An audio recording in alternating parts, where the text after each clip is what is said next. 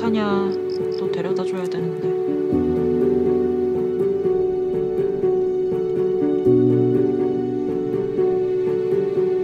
세나 고양이 데려왔어. 우리 진짜 가족처럼 이제 많이 했는데. 아니지. 우린 진짜 가족이었지. 나한테 다시 가족이 생겼네.